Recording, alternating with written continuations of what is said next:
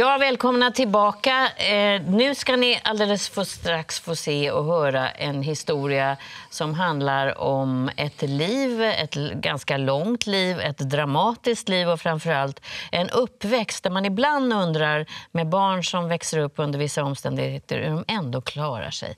Och det här är en eh, föreställning på Stadsteatern. Det är Leif André som spelar sig själv och sitt eget liv. Vi ska få ett utdrag ifrån föreställningen. Så här ser det ut. Jag hade inte en aning om vad som skulle ske. Eh, en dag så står vi på Centralen vid en perrong vid ett tåg. Så kommer en kvinna och möter upp oss och det, det är lite konstig stämning. Men hon verkar snäll den här kvinnan. Hon böjer sig ner till mig och så säger hon Leif, nu ska du och jag ut och resa. Så lyfter hon upp mig på tåget och ställer sig bakom mig och håller om mig. Mamma står kvar på perrongen. Hon säger, jag kommer sen Leif. Jag kommer sen. Och hon gråter. Det kommer tårar. Jag kommer sen. Så slås tågdörren igen. Kadoff! Tåget börjar rulla. Mamma försvinner på perrongen. Och jag bara skriker. Mamma! Mamma! Jag var tre år. Jag hatar fortfarande tågdörrar. Oh. Kadoff! Leif André, välkommen hit. Tack. Man får liksom ont i hjärtat och magen när man ser det här. Tre år gammal och fattar ingenting och mamma gråter. Nej, Och tåget rullar iväg. nej, nej. jag fattar ingenting. Vad var det för händelse? Nej, Jag kommer ihåg det här. Man brukar säga att man kommer ihåg det som igår, men det gör jag inte. Men som förra veckan. Sitter Vi åker i ner- kroppen? Ja, för fan. Alltså, vi åkte ner till centralen och vi står där och när kvinnan kommer fram, jag kommer ihåg hur hon såg ut också. Ja. Hon hade en grå klänning på sig, en kappa, uppsatt hår och så hade hon såna här glasögon som var lite böjda upp. Och, Ja. sådär, ja. och lite mörkhårig. Men hon var snäll, kommer jag ihåg. Och sen var det ehm, mamma hon som pratade. Jag visste ingenting. Nej, ovanför ditt huvud då kan man tänka sig. att jag skulle bli lilla killen. bortskickad då, så att säga. Och så satte hon upp mig på tåget. Hon lyfte upp mig på tåget så här. Hade min lillväska med. Och så hade jag faktiskt den här med mig också. Nallen. Den här satt jag med sen hela tågresan. Och eh, därför tänkte jag att den fick vara med då. Ehm, och sen så mm, är det också en annan tjej i min ålder. Och jag satt där vid eh, fönstret och alltså det, det var en sån här... Alltså jag, det är så omskakande. Jag visste inte vart jag var på väg. Nej. Det var som Och en mamma som gråter förstod du att någonting som inte Ja, någonting stämmer. var konstigt. Ja. Jag var bara tre år. Just det. Ja. Och vad är du på väg? För det vet du ju nu efteråt. Vart är du på väg? Då kom jag till Timle, i åtta kilometer utanför Ulricehamn. Ja, från Ehm, Stockholm åker ni. Mm. Precis, och det tog sin lilla tid. Och, eh, vi åker den här rälsbussen på slutet från Falköping, det fanns rälsbussar. Och kommer till Timle station. Där möter en kvinna upp mig som heter Majsan och en annan äldre kvinna som heter Märta. Så jag hade varit född när jag varit min mamma och min farmor. Och sen då, ja, så blev jag fosterhemsplacerad på en bondgård då, så, hos Majsan och Lennart. Mm. Och hur var det då? Ja, det var helt underbart. För det kunde du inte veta, men det var ju det. Nej, jag- jag ja, det är hamnade i- skönt att höra någon sån historia, för man hör väldigt ofta motsatsen. Nej, jag hamnade lyckligtvis hos jättefina människor. Mm. Och de älskade mig. Alltså. Så att jag, jag började kalla dem för mamma och pappa. Hur länge var du där? Eh, Där går det isär. Jag, jag ska ta reda på ordentligt. Ett halvår ungefär. Ja, det är en lång tid när man är tre år. Ja, det är lång tid när man är tre år. Så att jag började prata västgötska också. Vad ska jag idag då? Vad ska jag idag? Men du, den här eh, historien då, mamma kom hon och hälsa på? Nej, eller? Nej. nej. Utan du bara var där Ja, och ja. började ditt nya liv. Men du, den, sen ska du därifrån igen? Ja, alltså, alltså, jag kommer ihåg det här när jag var där nere. Eftersom jag har sånt där extremt minne. Va? Mm, du har ju det. Ja, jag har det. Och sen vet jag att vi sätter oss i bilen och åker. Och jag kommer så väl ihåg det här att det var en konstig stämning i bilen. Det tar ju tid att åka från, Sto- från Västergötland upp till Stockholm. Och sen när vi, när vi kommer på Hornsgatan.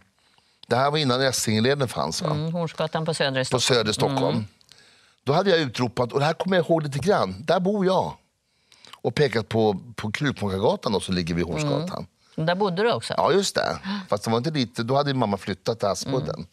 Så vi kommer till Aspudden och eh, kliver upp. Och i pjäsen så är det en... en, en eh, ja, alltså det riktiga var så här, att innan vi ringer på så säger Majsan till mig och böjer sig ner också och gråter och säger så här, nu ska du få träffa din riktiga mamma. Så här, och sen plingar han på dörren. Ska du skiljas igen? Ja. Så där står jag vid en kvinna som jag inte kände igen. Mamma. Ja. Och så gick Majsan. Nej, de var kvar en natt. Men sen försvann hon. Sen så, dagen efter så sov de, de sov över och sen dagen efter så var det Majsan och Lennart så, så skulle vi åka iväg och sen då kom jag ihåg att de sa att vi skulle åka på utflykt. Och då så, så på något sätt lyckades de övertala mig att sitta med mamma då och min nya pappa Rune som inte var min pappa, min biologiska pappa. Och sen så kommer jag aldrig glömma hur den där bilen, Lennarts bil, den svänger av åt ett helt annat håll. Och vi åker rätt fram. Och det här kommer du ihåg? Ja, för fan. Då jag är skrek. bara... Ja. Du skrek? Ja, satte baksätet och bara hoppa. För då ville du åka med dem? Ja, det är klart. Ja. Och sen hade jag nallen i knät också. Så här. Men du, hur har det här påverkat dig, tror du, i livet? Ja, jag vet inte. Men jag har ju gått i terapi i fyra och ett halvt år så att lite Mm. grann har jag bearbetat. Men jag tycker inte om tågdörrar. Och du tycker inte om att skiljas antagligen från Nej. människor? Kan Nej. jag tänka mig. Nej. Separationer Det har också inneburit att, liksom, att man ibland inte litar på människor. Att, det, Nej. I situationer, framförallt när jag var yngre, jag trodde att eh, om man mötte någon tjej och sa att de skulle lämna mig på en gång. Och Du så, vågar så. inte riktigt knyta an för då kanske den här personen försvinner igen. Då försvinner personen igen. Precis, så. Men du, träffar du dina eh, sommar eller fosterföräldrar igen sen? Jag blev sommarbarn där sen. Ah. De tyckte om mig så mycket så de hade sån sorg. Det hade gått så bra tyckte mamma också. Så att, eh, de frågade om jag fick eh, komma dit lite grann på sommaren, sommaren efter. Mm. Och eh, då följde mamma och pappa Rune med ner. Mm. Och var med några dagar. Och sen, så var jag, sen blev jag sommarbarn där. Och det blev väldigt I fina alla år. Så att, nu är de döda bägge två. Men som min sommarbror till exempel. Jag fick en sommarbror sen Mm. som blev adopterad dit ner. Han kommer att titta på mig imorgon. Vad Så har en annan sommarbror i, i, i Alf i Göteborg. Ja. Men alltihopa det här beror på att ditt hem eh, där du växte upp, Mm. dina föräldrar, det var ett eh, turbulent hem. Ja, det, pappa hade lite, min biologiska pappa hade lite ja, skumma saker för sig så att han fick åka på Långholmen då. Så mamma fick en reprimand att, att antingen tar de, så gör du någonting åt det här eller så tar vi hand om barnen. Så därför blev vi fosterhemsplacerade, jag och min bror. Mm. Men inte tillsammans. Nej, inte tillsammans. Min bror Lasse han, eh, skickades till Småland till hem där de slog honom. Så Där de slog honom? Ja, han var 11 år. Han snodde en cykel och skulle cykla till Stockholm. Men polisen hade fattat honom. Då. Så du hade tur kan man Jag säga. hade en enorm tur. För det är ju bra att berätta om. Det här är ju människor som öppnar sina hem och tar hand om barn som de från början inte känner. Ja.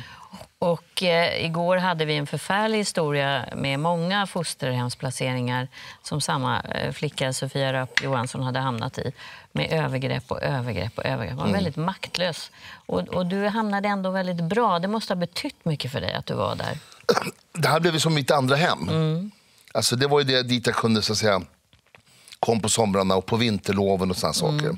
Sen när min pappa Rune gick bort när jag var 13 så mötte min mamma en man som var hemsk. Och eh, då blev det här mitt, eh, vad ska man säga, det var som min, eh, Räddning låter Räddning ibland, ja, ja. Att du kunde åka dit. kunde åka dit när jag ville.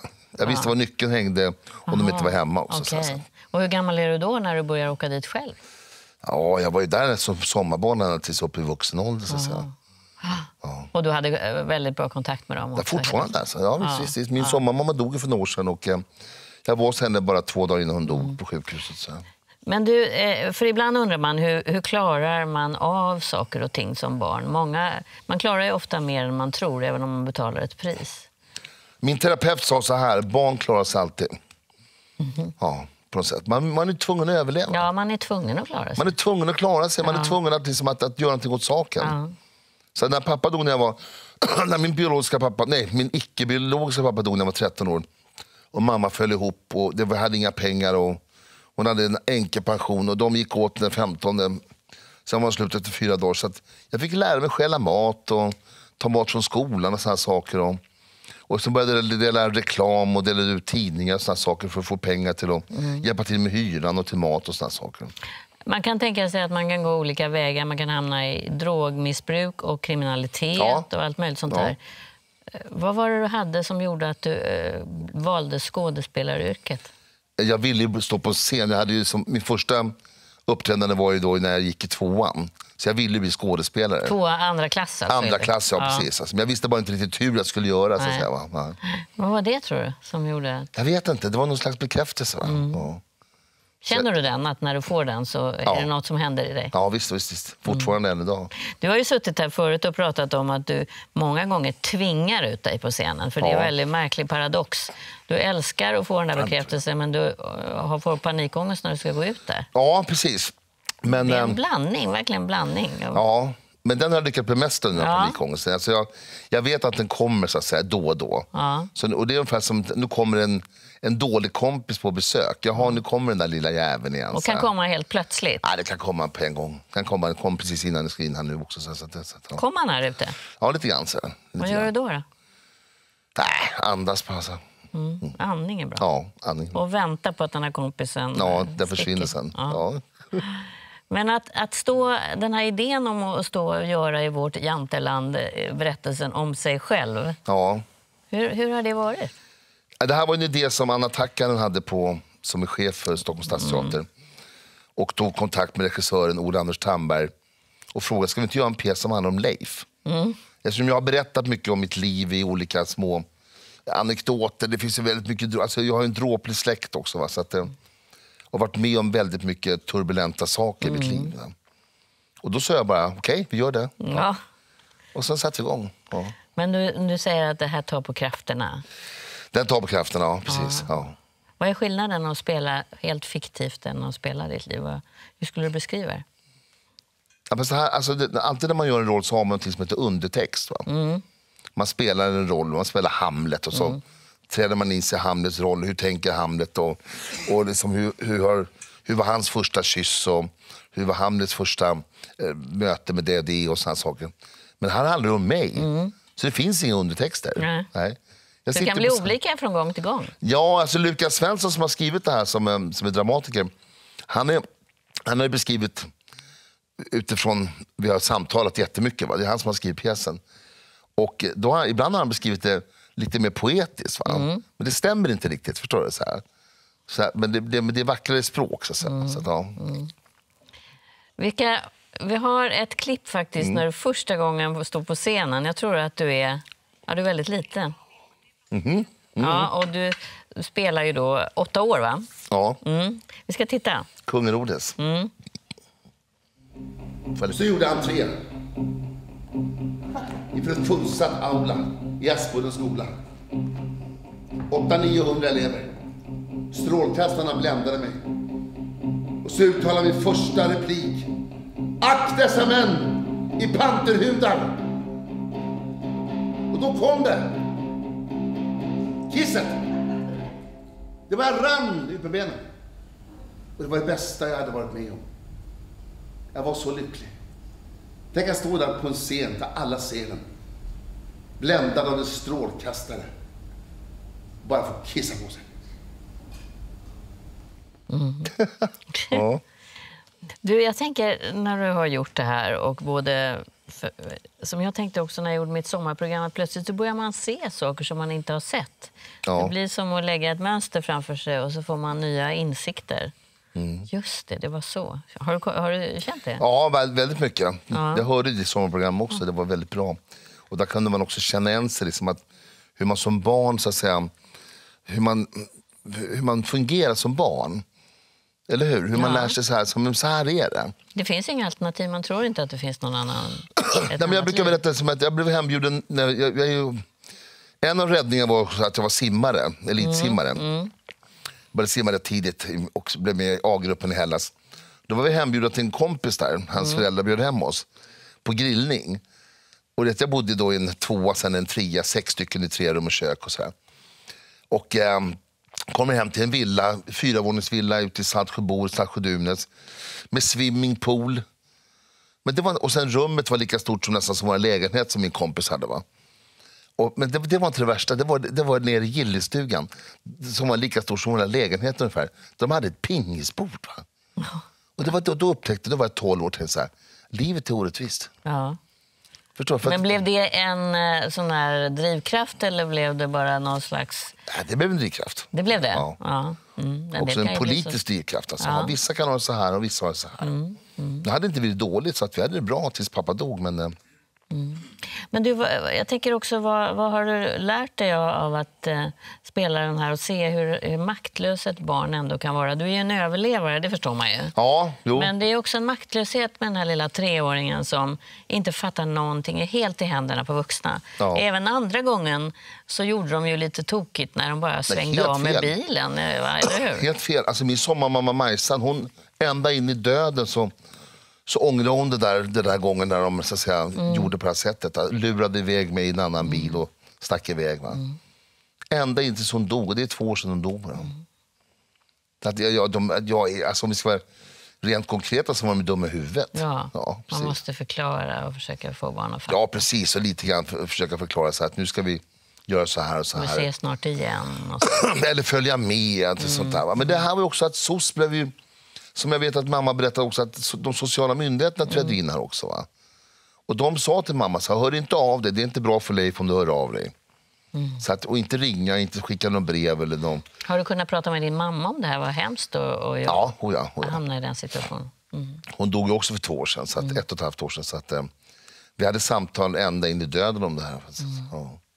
Du, det här med försoning är ju intressant. Har, Ja. Tycker du att du har liksom försonats med det du var med om? Ja, Det har du? Ja. ja, ja, ja. Jag tänker också på hur eh, mycket skam det kan vara när man bor och lever som ni gjorde och sos- soc inblandat och, Ja. och det finns eh, missbruk och allt möjligt och så åker du ut till den där villan med pingisbordet Mm. i gillestugan.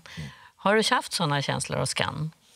En del har ju det. Som, Skam som jag hade. Ja, för hur du växte upp, hur du var hemma för dina föräldrar och så. Alltså, vi hade det jättebra mellan 3 till 13 år, tills min pappa Rune dog. Alltså, vi var en vanlig arbetarfamilj. Sen när han dog då inträffade att mamma hon föll ihop helt enkelt och mådde inte bra. Och drack för mycket. Och eh, det, det skämdes över. Så det berättade inte för någon heller. Va? Och tog inte hem kompisar och sånt där. Nej, det var svårt. Det var, Man visste aldrig vilket humör mamma skulle vara på. Så att säga. Och så visste man inte om hennes nya man var där också, för då var det farligt. Liksom, så, så att, För att han var ingen bra. han var definitivt ingen bra. Nej. Du och din bror då? Kunde ni få, hittade ni tillbaka till varandra igen när ni hade separerat? Ja, ja, gud ja. Min storbror Lasse. Ja. Ja. Han dog också för några år sedan. Han söp ihjäl sig. Så att, eh, eh, vi hade, det var ju min hjälte när jag var liten. Min bror Lasse. Han tog med mig på konserter på Jimi Hendrix och Frank Zappa. Han var nio år äldre än mig också. Så att han var ju, men han, han, han fanns aldrig till rätta heller sen. Va? Han började dricka för mycket redan i unga år och gick på sjön när han var 16. Och så här, så att, eh, Hur skulle du säga att det beror på att du har klarat dig? Därför, jag har aldrig velat gå under. Inte ens när jag var liten. Så att säga. När jag sprang de där jävla reklambladen och tidningarna. Så jag, ville aldrig, jag, vill, jag ville inte börja... Jag hade kamrater som började sniffa Tinder som var populärt och röka brass. Va? Aldrig. Jag tyckte, det, var, det där var inte alls min grej. Du fick en annan drog och stå på scenen. Ja, och simma. Och simma, Och också. simma. Och simma också. Och ibland brukar man ju säga, det var ju det jag tänkte mycket på, vem såg mig? Ibland kan det ju handla om att en person ser en. Nu förstår jag att dina sommarföräldrar var viktiga på det sättet, Ja. men det kanske var en simtränare där någonstans Det var en simtränare också som, och, och simmarkompisar som jag En fortfarande har annan kvar. värld Ja, liksom, som ja. du hade. Ja. Precis, jag hade ju en annan värld att, att fly till. Så att säga. Du, vad känner du när du har stått där på scenen och, och, och lämnat ut hela ditt liv, ganska svåra, eh, smärtsamma Ja. saker, och så får du det här publikens jubel. Vad, vad händer med dig då? Ja, det, det är. Alltså efter den här föreställningen så känner man sig ganska tom. Alltså. Ja. Gör det? Ja. Här, Men lycklig också. Så här. Mm. Och det är väldigt mycket människor som kommer fram sen och, och vill prata också. va. Mm. Och du ska spela ända till våren. Ja, jag hoppas den kommer. Den går för utsålda hus nästan. Ja, det är Så att- så fantastiskt ja, och ja. roligt. Ja, så man har en chans, eh, om man inte får biljetter nu, Ja, så kommer du spela vidare. jag kommer spela vidare. Hela Jag kommer få. Ja. leva med det här. Ja, du kommer få leva med precis. här. Och det kommer förmodligen hända saker med dig hela vägen. Ja, precis. Man blir äldre också. Och så kommer din sommarbror imorgon och titta på föreställningen. Imorgon kommer Niklas och hans fru och och barn Ja, titta. Ja. vad kul. Du, tack så mycket Leif för att du kom hit. Tack. Och eh, hoppas du blir bra. Jag hör att du är lite förkyld. Jag är förkyld. Det är inget och- bra nej. att spela när man är Nej, förkyld. nej, nej, nej. nej jag Jag ska hem och sova nu. Bra.